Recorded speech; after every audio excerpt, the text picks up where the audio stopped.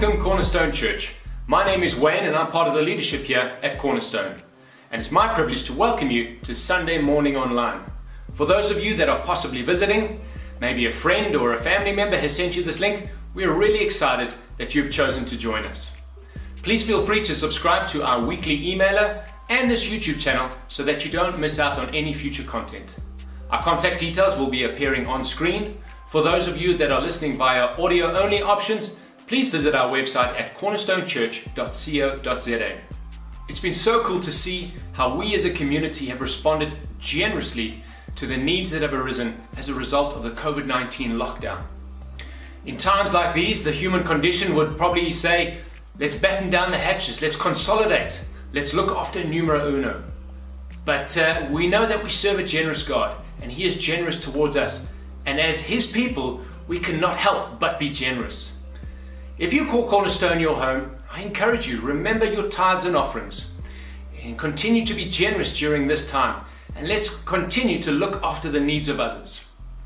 Our banking details will appear on screen shortly. Please ensure that you use the correct reference when depositing money into these accounts so that we can allocate the money correctly. It's been a sad week for the Cornerstone family. Amanda, who was diagnosed with cancer just over a year ago, has unfortunately passed away. What can only be described as a real tragedy, I'm reminded of how courageously this young woman lived. During the last year, she had lost her sight. And uh, two weeks ago, I saw a video clip of her dancing and singing at the top of her voice. And these were the words that she was declaring I live by faith and not by sight. You are the way, the truth, and the life. I live by faith and not by sight for you. We're living all for you. Here is a little girl who has been hit by the winds and the waves of life, yet her faith was unwavering in her Savior Jesus Christ. Our condolences go out to Amanda's father, her family, and to David Margie, who was so instrumental in her life over the last few years. Although deeply saddened by this loss, we can only but rejoice as she is now dancing and singing and gazing into the eyes of her Savior, our Lord Jesus. We're going to enter into a time of worship now, but before then, would you join me in a prayer? Father, we acknowledge that we are frail, we acknowledge that we are weak. And Father, in times like these where there is so much panic and despair, we can only cling to you in these moments. And Father, I pray, Lord, that our eyes would be taken off our circumstances, our eyes would be shifted and placed on you. Lord, help us this morning to fix our gaze on you. Lord, I pray that you would soften our hearts as we listen to your message. Father, I pray that you would renew our minds as we declare your praises. Father, we are so thankful that in the midst of turmoil, we have a Savior who is risen and that we can cling to. We thank you for your word, and Father, we pray for your anointing over it this morning. Thank you for these things. In Jesus' name, amen. Let us worship.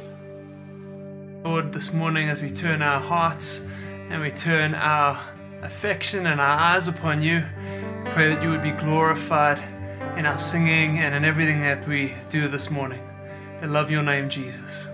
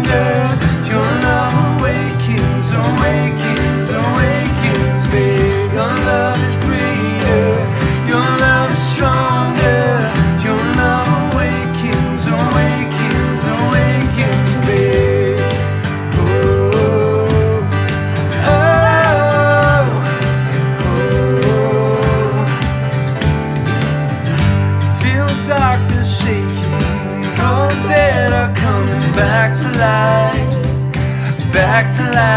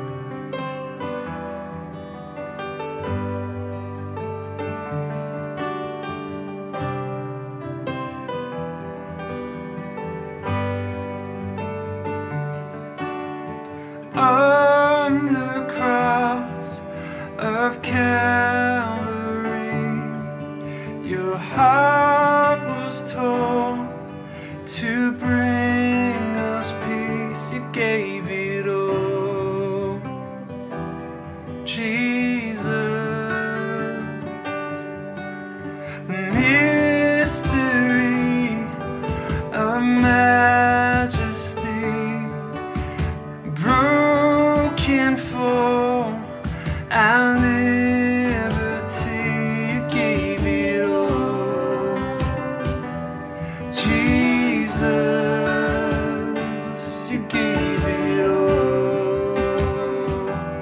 Jesus, praise the Lord. Oh, my soul, I will sing.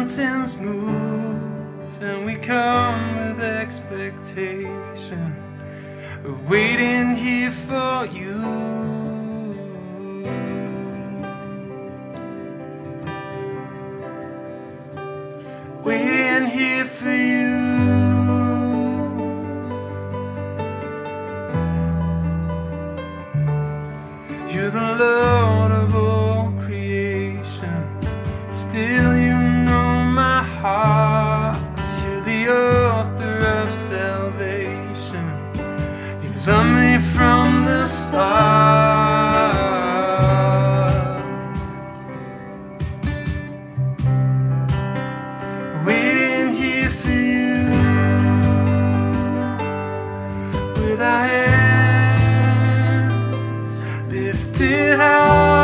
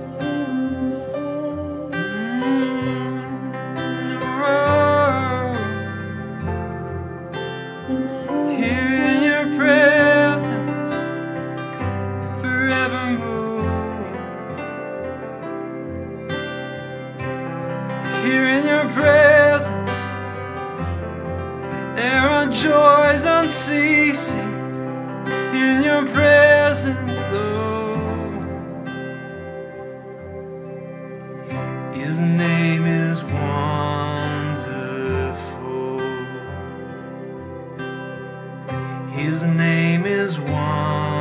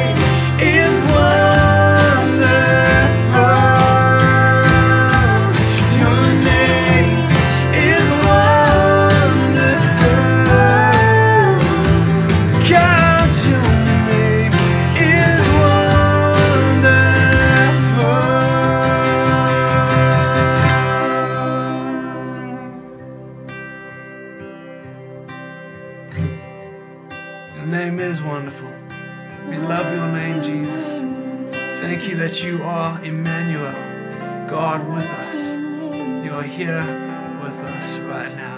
We love you. We praise your name, Jesus. Be glorified.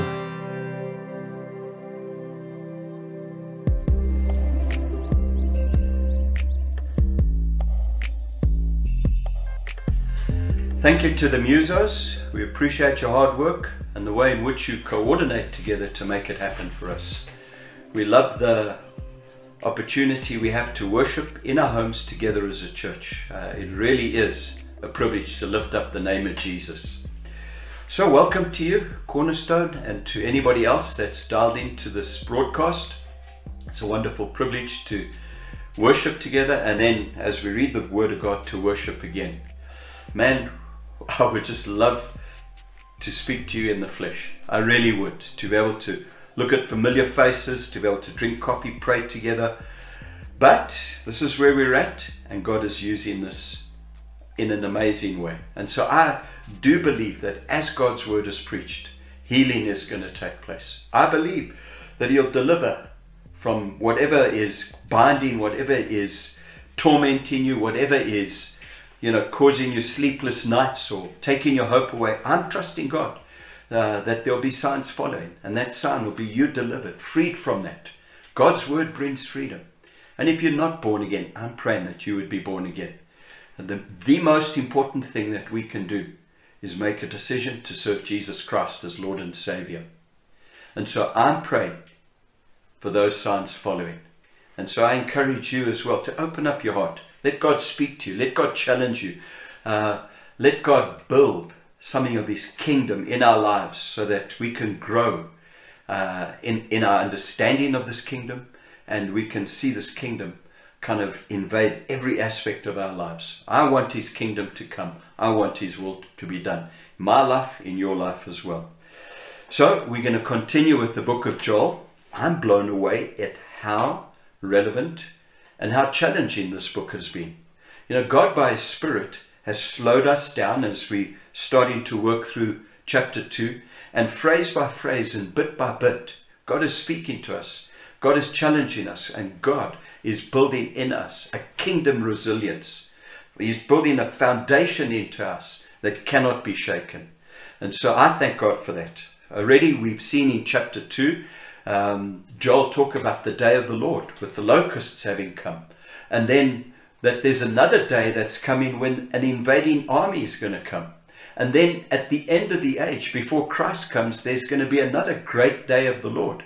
And to all of these uh, judgments that are coming, Joel says, pray. The response that we need is to cry out to God in prayer. Doesn't matter what our situation is, doesn't matter what we're confronted with, even if it's due to my sin or my disobedience or my rebellion, the thing we need to do, no matter what we're faced with, is turn to God in prayer. And that's what Joel says, is pray. He says, blow the trumpet. In other words, this is a time for the nation to gather and to cry out to their God, to pray to God, to trust God for breakthrough.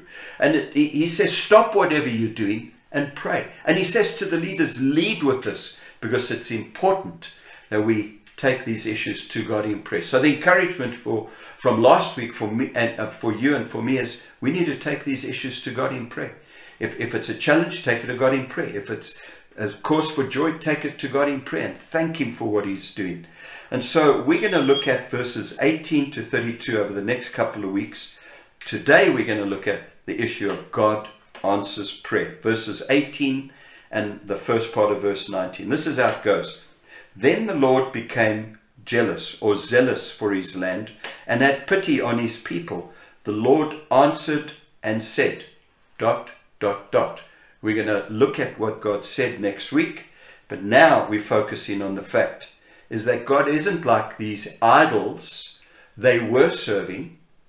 He speaks, He hears, He understands, He's got a heart, not like those idols. And then He answers prayer. He answers prayer. You can pray forever to an idol. You can burn incense. You can do whatever. You can cut yourself. You can do all kinds of things. But that idol is not going to speak to you. And so at that same time, other prophets record this Israel, how can you serve these idols? They have eyes, but they don't see. They have ears, but they don't hear. And they have mouths, but they can't speak. They are dumb. And one of the prophets says, and you become like them. You become exactly the same, like stone or wood or metal, inanimate, unable to respond at all. But God says, I became jealous for this land and I pity on this people. That's compassion. And so he's responding to them. They're praying and he's responding. He, he's, he's seen their plight. He's hearing their cries and their pleas for help. And he's speaking out and answering them and saying, I'm going to bless you. I'm going to restore things. Whatever the locusts have eaten, I'm going to restore. Uh, whatever has happened, I'm going to reverse all of that and I'm going to bring you back into a place of blessing. God loves us, not like those idols. And then God says, I'm going to speak to you. He answers.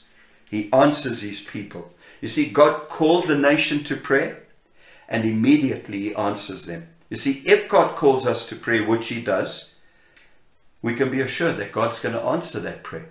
So God does. God wants us to pray. We'll see. God has called us to pray. Jesus taught his disciples how to pray. It's important to note he taught them how to pray. How to pray, and he kept encouraging them by the example that he set of praying. Always remarking on this fact I'm only doing the things my Father is doing and saying the things my Father is saying. In other words, Jesus is praying and he's getting answers from the Father. And these are the things that he's busy with. And so in Jeremiah 33, verses 1 to 3, I was taught at Sunday school that this is God's phone number. This is the challenge. The word of God of the Lord came to Jeremiah a second time while he was still shut up in the court of the God. Thus says the Lord, who made the earth, the Lord who formed it to establish it, the Lord is his name. Excuse me. Call to me, and I will answer you we had to memorize that at Sunday school, and that's God's phone number. Call to me, and I will answer you, and I will tell you great and hidden things that you have not known. It's amazing. Jeremiah is in lockdown, and he's challenged to call to God, and God will answer him. You see, it's in those times of introspection when it's important to reach out and to speak to God. Paul is in jail with Silas, and they start to worship. And God answers that worship of that prayer. I want to show you these great hidden things that you haven't known. There's stuff God wants to show us. There's answers that He wants to bring.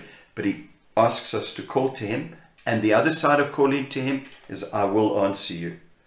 Then in Luke, we have this where Jesus teaches the disciples to pray. Uh, straight after that, in verse 5, He says to them, Which of you has a friend will go to him at midnight and say to him, Friend, lend me three loaves, for a friend of mine has arrived on a journey, and I have nothing to set before him. And he will answer from within, Don't bother me. The door is now shut, and my children are with me in bed.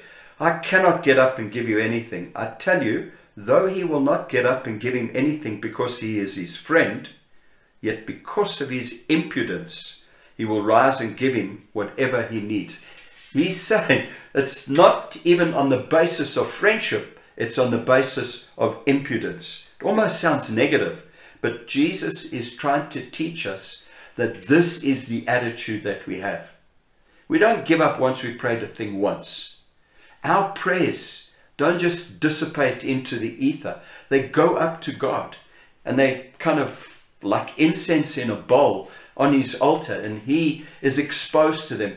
Uh, the aroma of those fill his nostril and, and nostrils and he answers those prayers. And, and that kind of word impudence in, in other translations, shameless audacity. In other words, I'm going to stand here and keep my finger on the doorbell until you come downstairs and you get me bread and you give it to me so that I can go and help this friend of mine who's arrived. That's the attitude God wants us to have with prayer. Knowing that as I keep on praying, it will be answered. I keep on. There's another part where he says, don't just babble the same thing over and over again. No, no. Pray, open your heart, make your requests known before God. And, and you know, a lot of the times God is also going to deal with something of our heart uh, in the context so that these answers can come. But keep your finger on the bell. Don't take your finger off the doorbell. Keep it there. Actually, put a toothpick in there, one of the preachers said. Uh, keep a toothpick in there and keep it going until it's answered. That's the kind of attitude. You see, Jesus uh, gives that same example in Luke chapter 18, verse 1. And he told them a parable to the effect that they ought always to pray and not lose heart. So this widow goes to a judge wanting some issue sorted out, and she cries out to him day and night until he hears. And then it's, Jesus says this Will he delay long over them? I tell you, he will give justice to them speedily. Nevertheless, when the Son of Man comes, will he find faith on the earth?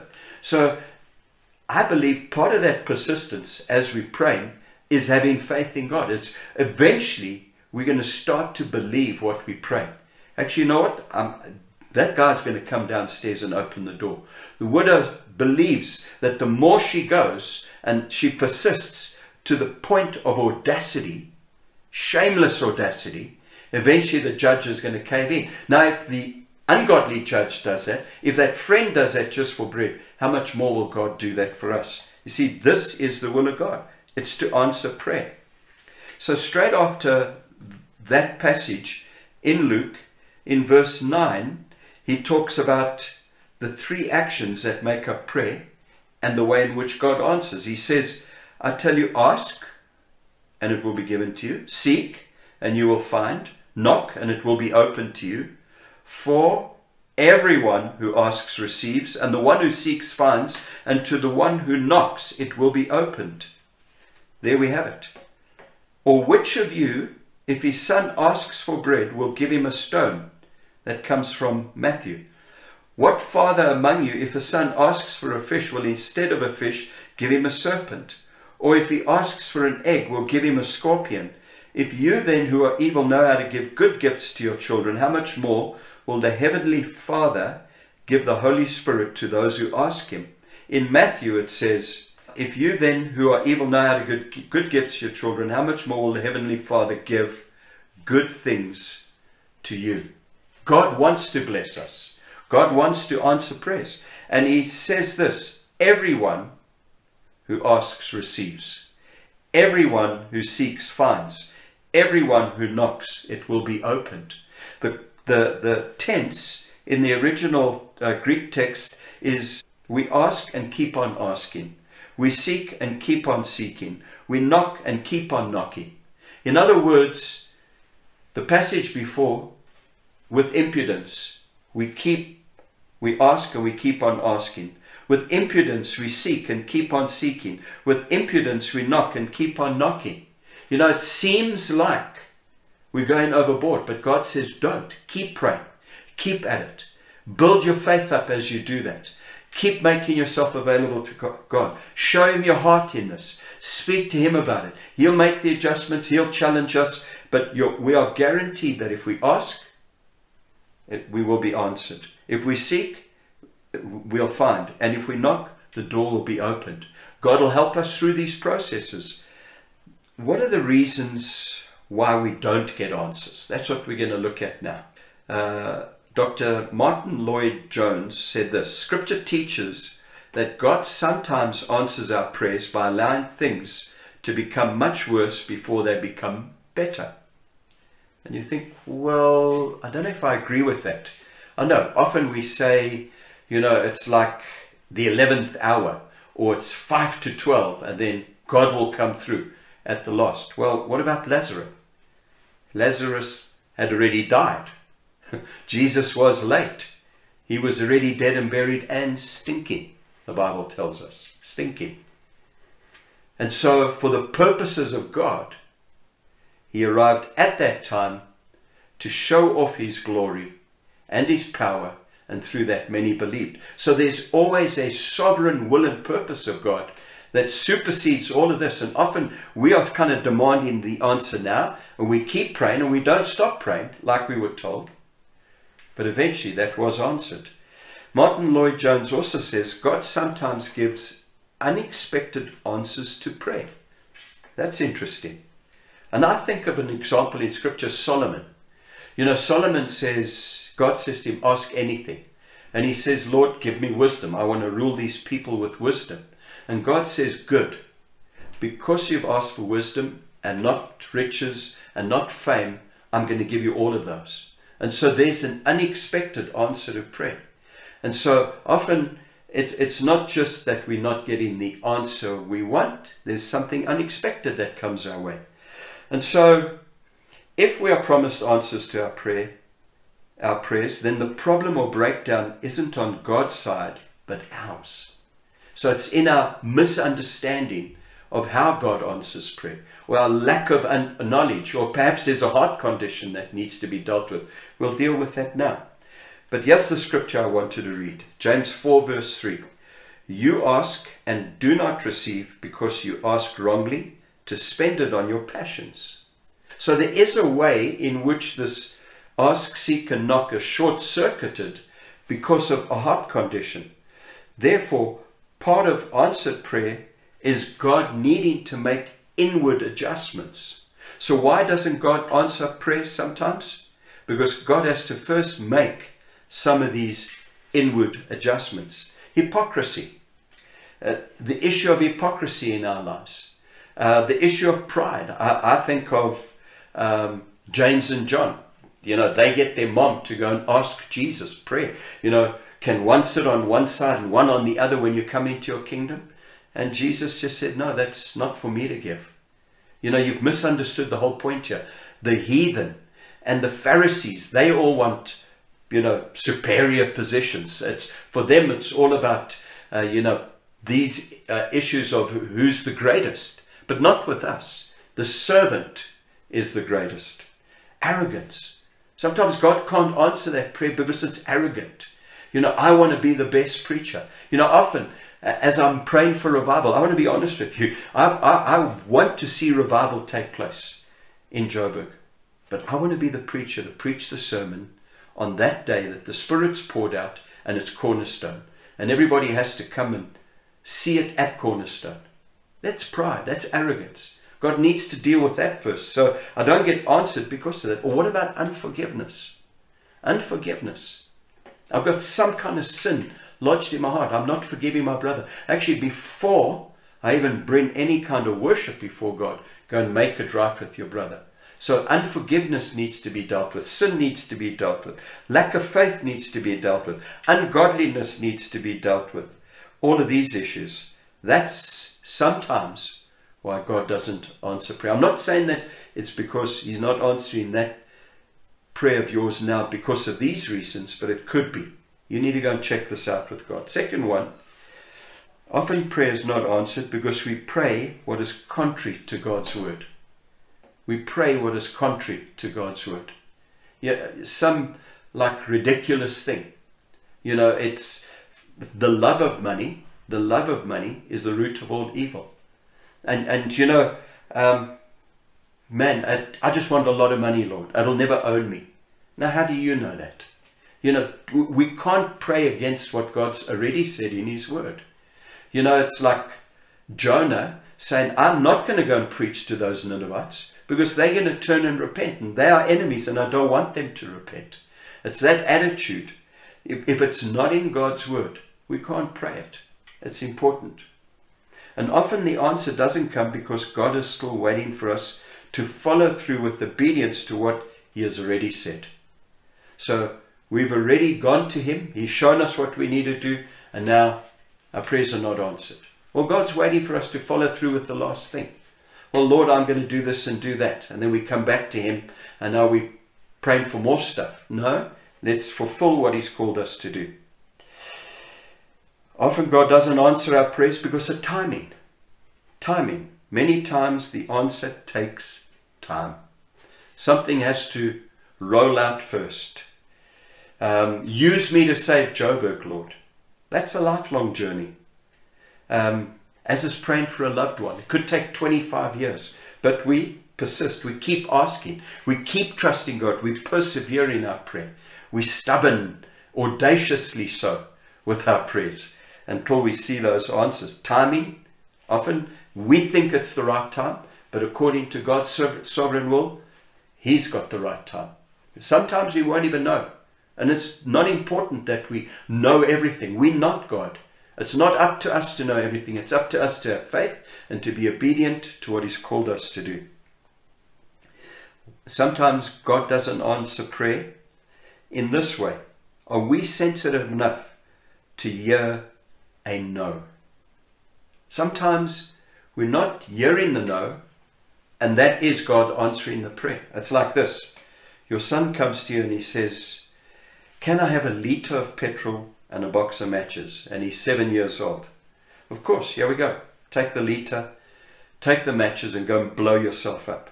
Sometimes the stuff we are praying, God has to say no. And you know, often we can get caught up, and I've heard it. We pray these grand prayers and, you know, use me, God, and I want to go there and I want to give up my life and I'm going to do this and I'm going to do that. A lot of that stuff we pray is not God's will. And He's saying no. And He's saying no for a good reason. And it's important that we understand that. It is important that we understand this. Is it God's will for my life? Am I praying what is right? Is this the will of God for my life? Uh, often God's ideas of a good thing could be different to ours. So we pray, but God is saying that's actually not what I want for your life. Right? Another reason why God could have something better for us, following on from the previous point. You think of the prodigal, he comes to the father and he says, after he's wandered, and he comes back and he says, um, You know, even a servant is better off in my father's house. I'm not worthy to be called a son, he says to the father. I'm not worthy. God doesn't even answer him and just lavishes on him every benefit, every blessing that you would give to a son. Everything ring, sandals, robe, fattened calf. And so it's important to realize that God knows better. He knows better. He knows what's best for us. And then the last one is the answer hasn't come yet because God is wanting us to mature and develop perseverance. In other words, He's building spiritual muscle. And so often when we are asking and we are seeking and we are knocking, He keeps us at it because that's going to develop the faith and the muscle that's necessary to actually fulfill the thing that we're asking, fulfill the will of God that's, that He has for me. I want to read a passage of scripture to end with. I'm just going to go through a couple of the verses just to help us understand this issue. Is we win the battle in prayer. That's where we win the battle. You know, often we think we go and do and then we pray afterwards. But we need to pray. We need to, we need to um, anticipate the circumstances that we're going to go through and pray. Before you make major decisions, pray. Before you choose a wife, a husband, pray.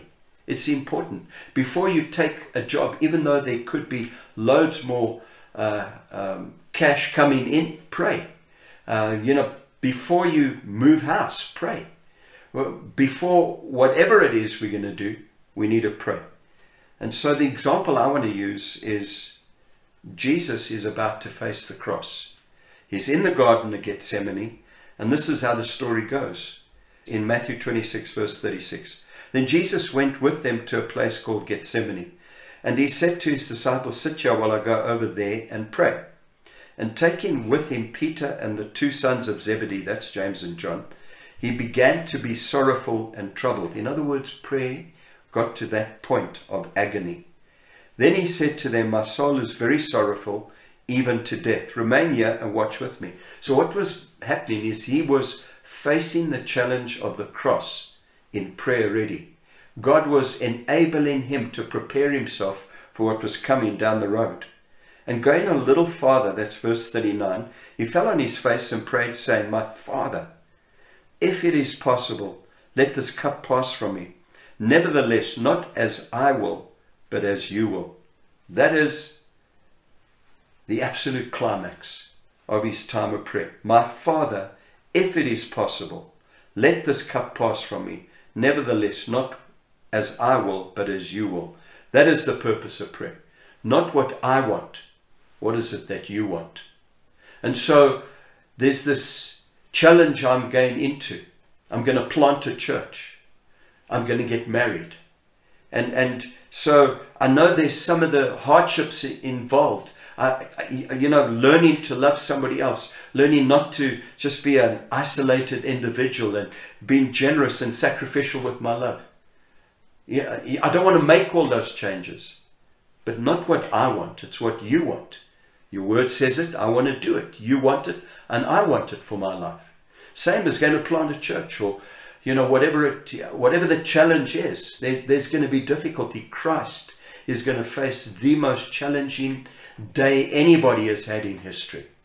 The cross, suffering, the sin of the world. I, I would gladly have this pass. I would gladly not pay the price.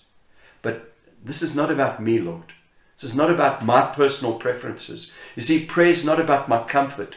It's not about what suits me. It's not about what makes me famous or, you know, makes me look good in the eyes of others. It's not how I can benefit. It's not my will, but it's yours. And so, where do we win that battle? We win that battle in prayer.